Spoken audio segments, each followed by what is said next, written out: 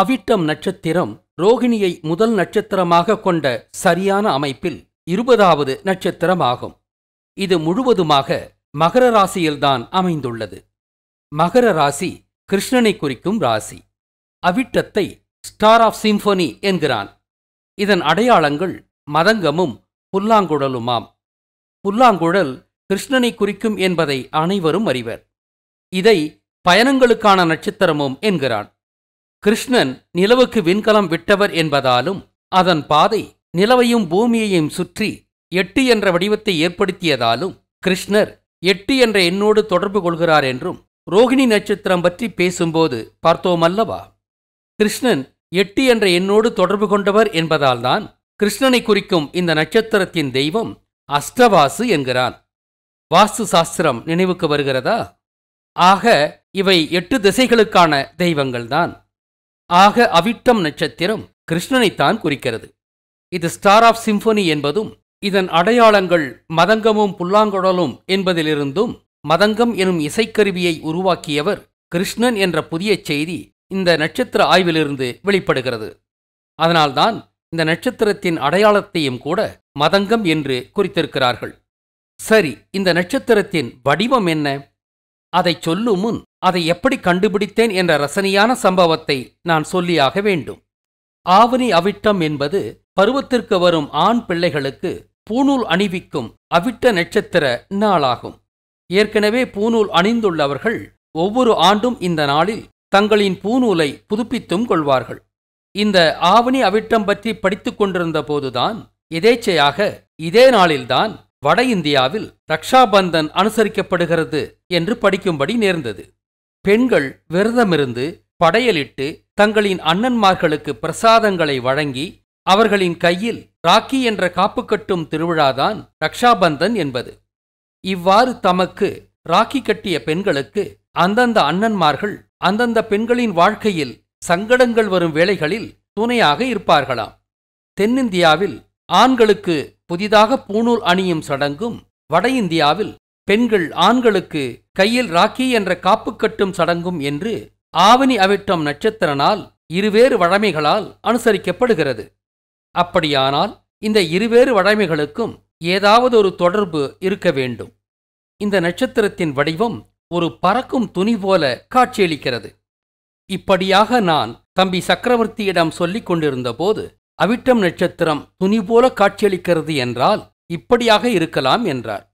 அதாவது ஒரு முறை கிருஷ்ணனுக்கு கையில் அடிபட்டு ரத்தம் சொட்டிய போது திரௌபதி தனது சேலை முந்தானையின் ஒரு பகுதியை கிழித்து கிருஷ்ணனின் காயத்திற்கு கட்டு போட்டாளாம்.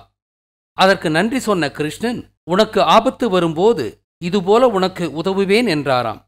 அதைத் தொடர்ந்து திருதராஷ்டிரனின் அரசவையில் திரௌபதி துகிலுரியப்படும் போது கிருஷ்ணன் அவளுக்கு ஆடை வழங்கி அவரது நன்றிக்கடனை கடனை நிறைவேற்றினாராம். ஆக கிருஷ்ணனின் கைக்காயத்திற்கு திரௌபதி துணியால் கட்டுப்போட்ட நிகழ்வை வட இந்திய பெண்கள் தங்களின் அண்ணன்மார்களுக்கு ராக்கி கட்டுவதோடு தொடர்புபடுத்தலாம் என்றார். உடனே நான் ஓஹோ திரௌபதியின் ஆடை அவிழ்க்கப்படுவதை குறிக்கத்தான் இந்த நட்சத்திரம் அவிழ்த்தம் அவிட்டம் என்ற பெயரை பெற்றதா? என்று வியந்தேன். அவிழ்த்தம் என்ற சொல்லின் தா என்பது டா என்றாகியுள்ளது. ஆக அவிட்டம் நட்சத்திரத்தின் சொற்பொருள் இப்போது புரிந்துவிட்டது. ரக்ஷாபந்தன் பற்றி தொடக்கத்தில் நான் படித்த செய்தியில் இதன் மகாபாரதம் மூலம் பற்றி சொல்லப்படவில்லை. சக்கரவர்த்தியும் தானறிந்த மகாபாரத கதையை ஒட்டி ஒரு ஊகமாகத்தான் மேற்படி சொன்னாரே ஒழிய ஏற்கனவே தெரிந்து கொண்டும் சொல்லவில்லை. எப்படியோ அவிட்டம் பற்றிய முடிச்சு இப்போது அவிழ்ந்தது கண்டு நாங்கள் மிகவும் மகிழ்ந்திருந்தோம். ரக்ஷாபந்தனில் கட்டப்படும் ராக்கி என்பதும் மலைகளால் சூழப்பட்ட சபரியில் குருகுலம் நடத்திய கிருஷ்ணனைத்தான் குறிக்கிறது. ராக்கெட்டு என்ற சொல்லுக்கும் இந்த ராக்கி என்ற சொல்தான் மூலம். சூரியன் மறைந்து ரா ஆக்கும் மேற்கு தொடர்ச்சி மலையை கொண்டுதான் கல்லுக்கும் கூட ராக்கு என்ற தமிழ்ச் சொல்லும் ராக் என்ற ஆங்கிலச் சொல்லும் வந்தது.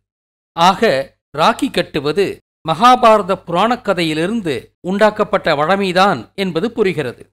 ஆனால் திரௌபதி பெண் அல்ல நிலம்தான் என்பதிலிருந்தும் துகிலுரியும் சம்பவமும் உண்மையில் நிகழவில்லை என்பதிலிருந்தும் ரக்ஷாபந்தன் என்பது பிராமண கப்சாவிலிருந்து மட்டுமே உண்டான ஒரு வழமை என்பது தெளிவு.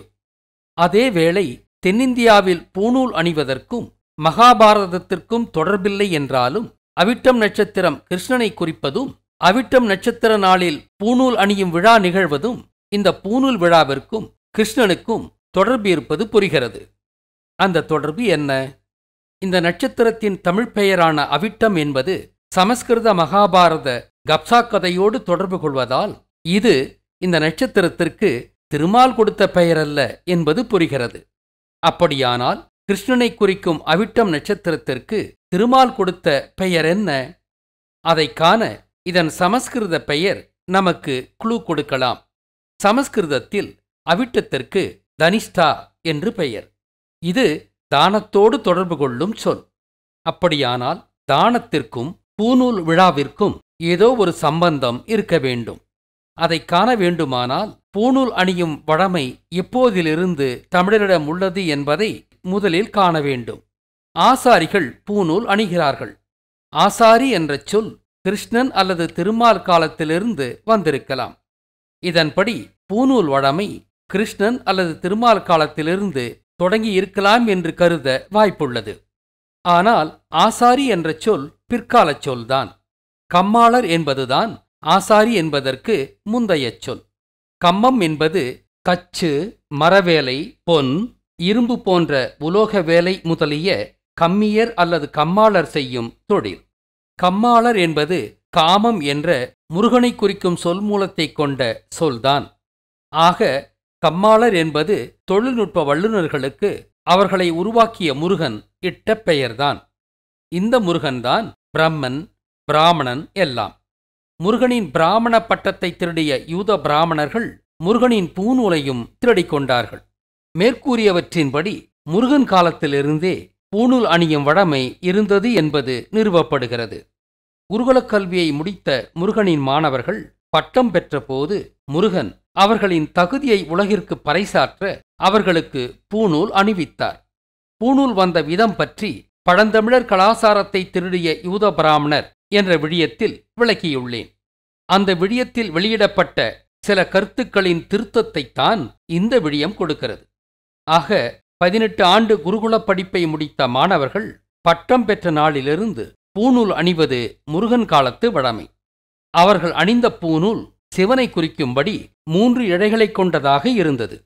முருகன் கதிர்காமத்தில் தொடங்கி வைத்த இந்த வழமை பொதிகைமலை குருகுலத்திலும் கிருஷ்ணன் படிக்கும் வரை தொடர்ந்தது. ஆனால் மகாபாரத போரின் அழிவிற்கு பின்னால் சபரிமலையில் தனது புதிய குருகுலத்தை கிருஷ்ணன் தொடங்கிய போது ஆசீவக குருகுலத்தை தொடங்கிய முருகனை கௌரவிக்கும் வகையில் இந்த பூநூல் வழமையில் ஒரு திருத்தத்தை கொண்டு வந்தார் கிருஷ்ணர்.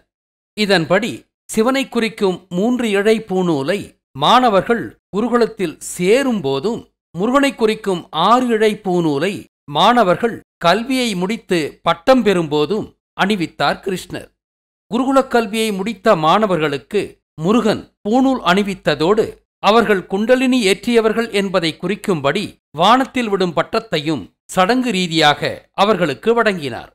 அப்படி உருவானதுதான் இன்றுமுள்ள பட்டமளிப்பு விழா வழிமுறை. ஆனால் முருகன் கொடுத்த அந்த குண்டலினி பட்டத்தை குருகுலத்தில் சேரும் மாணவர்களுக்கு கொடுக்க முடியாதல்லவா? அதேவேளை தானும் குண்டலினி ஏற்ற வேண்டும் என்ற வேட்கையை மாணவனுக்கு ஏற்படுத்தும் குறியீடாக நெற்றிக்கண் இருக்கும் இடத்தில் தங்க வட்டம் எனும் பட்டம் கட்டினார் கிருஷ்ணர். ஆக கிருஷ்ணர் சிவனை குறிக்கும்படி மூன்று இழை புதிய மாணவர்களுக்கு அணிவித்தது இல்லாமல் அவர்களின் நெற்றியில் தங்க பட்டமும் கட்டி அதுவரை விளையாட்டுக் குழந்தைகளாக இருந்த பிள்ளைகளுக்கு தங்களுக்குள்ள மகத்தான பொறுப்பை இந்த சடங்கின் மூலம் உணர்த்தினார். இதை இனிஷியேஷன் செரிமானி என்று ஆங்கிலத்தில் விவரிக்கலாம். குருகுலத்திற்கு பிள்ளைகளை நேர்ந்து விடும் இந்த நிகழ்வுதான் சீடதானம் என்பது.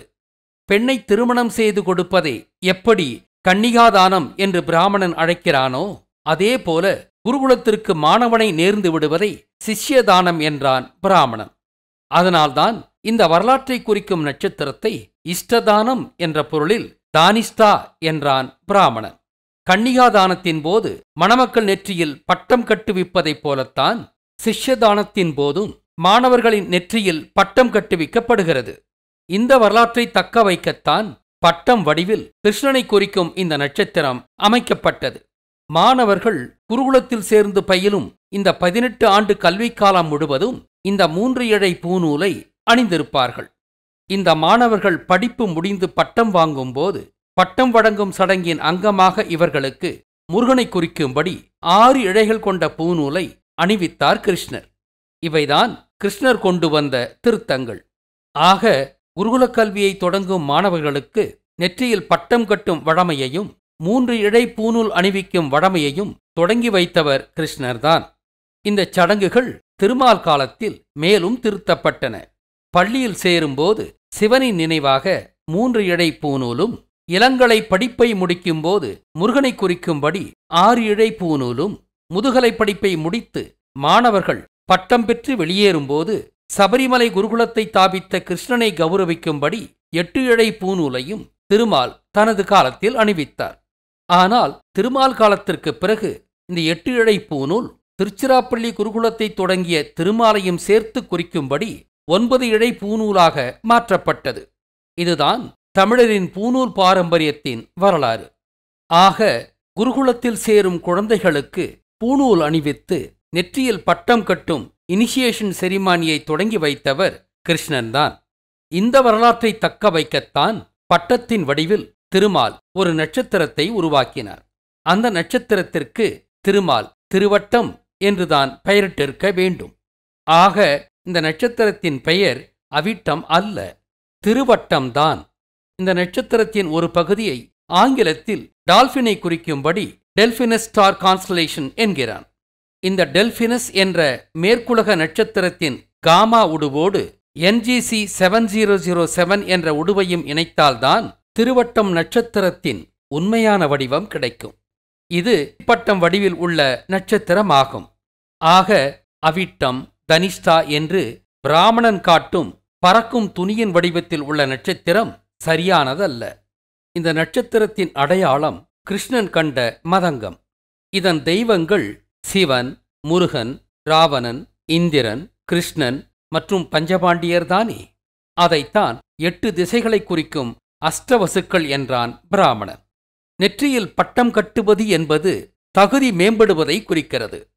விளையாட்டு குழந்தைகளை சீடதான சடங்கின் அங்கமாக மாணவர்களாக தகுதி உயர்த்திய போது கிருஷ்ணன் அவர்களின் நெற்றியில் பட்டம் கட்டினார். கன்னிகாதானத்தின் போது தலைவன் தலைவி என்ற புதிய பொறுப்புள்ள தகுதி அடைவதை பெண்ணுக்கும் ஆணுக்கும் நெற்றியில் கட்டும் பட்டம் குறிக்கிறது. இதை நான் சொன்னபோது தம்பி சக்கரவர்த்தி அப்படியானால் இறந்தவர் நெற்றியில் காசு வைப்பதும் தகுதி உயர்வைத்தானே குறிக்கிறது என்றார். வியந்த நான் அதை சவதானம் அல்லது சிவதானம் என்று அழைக்கலாம் என்றேன். அதாவது இறந்தவர் சிவலோக பதவியைத்தானே அடைகிறார். தம்பி சக்கரவர்த்தி அதை நீர்த்தார்தானம் எனலாம் என்றார். இறந்தவர் இறுதியில் நீர்வண்ண நிலையை அடைவதற்கான இனிஷியேஷன் செரிமானிதான் இறந்தவர் நெற்றியில் காசு வைப்பது. பதினாறாம் நாள் நடத்தும் கர்மகாரியத்தின் போது இந்த இனிஷியேஷன் செரிமானி நிறைவடைந்து இறந்தவர் தெய்வமாகிறார். முன்பெல்லாம் தங்கக்காசு வைப்பார்கள். இப்போது வெள்ளிக்காசு வைக்கின்றோம். ஆக நாம் கடைபிடிக்கும் ஒவ்வொரு சடங்கும் எவ்வளவு ஆழமான பொருளை கொண்டுள்ளது பார்த்தீர்களா?